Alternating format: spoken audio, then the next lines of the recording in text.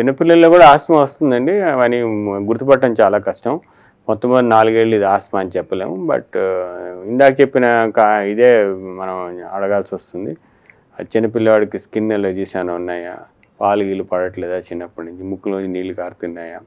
దాని తర్వాత ఆయన పరి రక్త పరీక్ష చేసి పెరిగినాయా? ఆయాసం వచ్చిన తర్వాత ఆడుకుంటుంటే ఆయాసం వస్తుందా? లేకపోతే చల్లగాలికి తిరిగితే వస్తుందా? ఇవన్నీ ఆలోచించాలి. మందులు ఇవ్వగానే ఆస్మాల లక్షణం ఏంటంటే రివర్సిబిలిటీ అంటారు. అంటే నువ్వు మందు ఇచ్చాగానే ఆయనకి చాలా ఉపశమనం కలిగి బాగా అయిపోతూ ఉంటారు చాలా వరకు. అది అయింది అంటే చాలా వరకు ఇది ఆస్మా అని చెప్పొచ్చు. బట్ ఆయన మొట్టమొదటిసారి డాక్టర్ గారు ఎవరు పిల్లవాడిని చూసి ఇది ఆస్మా అని చెప్పరు.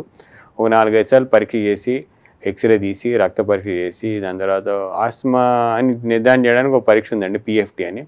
ఆ పరీక్షలో కొంచెం బాగా తేలుతుంది. ఆ పరీక్షలో ఏమిటంటే మనం గాలి తీసుకుని ఆస్మా అన్నప్పుడు పీల్చుకుంటే గాలి ఎంత కష్టమో తెలుస్తుంది.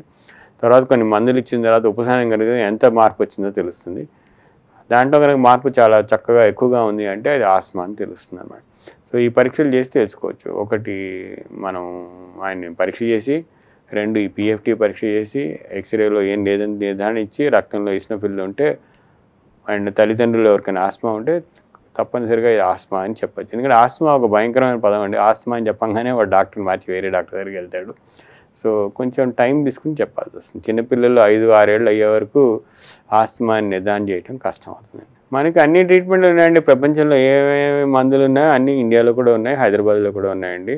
Only thing is first asthma రాకుండా జాగ్రత్తలు తీసుకోవాలి. వాళ్ళు దుమ్ముతో వస్తుందా లేకపోతే ధూళితో వస్తుందా కుక్క పిల్లలు పిల్ల పిల్లలు వాళ్ళతో తిరిగితే వస్తుందా లేకపోతే గార్డెన్లో వెళ్తే వస్తుందా అనేది నిర్ధారణ చేసుకోవాలి. అది రాకుండా వాడడానికి తీవ్రత ఎలా ఉంది అని చూడడానికి ఐదు క్వశ్చన్ నడుతామండి ముందు రోజులో వారానికి రోజులు పొద్దున పూట ఎన్నిసార్లు వస్తుంది? నెలకి రాత్రిపూట నిద్ర ఎన్నిసార్లు చెడిపోతుంది? దాని తర్వాత నీకు పని చేసుకోగలుగుతున్నావా లేదా? అండ్ దాని తర్వాత ఎంత ఆయాసంగా ఉంటుంది? దాని తర్వాత మందు ఇస్తే ఎంత తొందరగా తిరుగుతుంది? అండ్ ఉపశమనం ఇచ్చే మందులు ఎన్నిసార్లు వాడాలి? ఈ ఐదు క్వశ్చన్లు మామూలుగా ఆడితే ఎంత తీవ్రత ఉందో తెలుస్తుంది చాలా వరకు ఒకటి రెండు సార్లు వస్తుంది ఎప్పుడో వస్తుంది. లేకపోతే నేను అంత బాగానే ఉన్నానంటే వాళ్ళకి ఆ ఉపశమనం ఇచ్చే మందులు ఉంటాయండి ఒకటి సాల్బుటమాల్ అని దాని తర్వాత లెవో సాల్బుటమాల్ అని లెవోలిన్ అని ఈ మందులు వాడుకుంటే వాళ్ళు అవి వచ్చినప్పుడు వాడితే చాలు.